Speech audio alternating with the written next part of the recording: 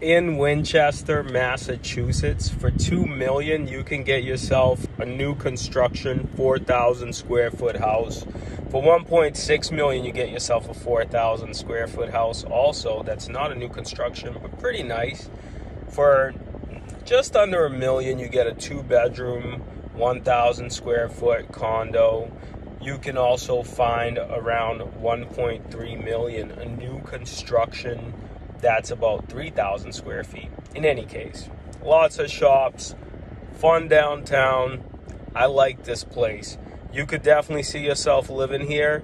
You know who to call.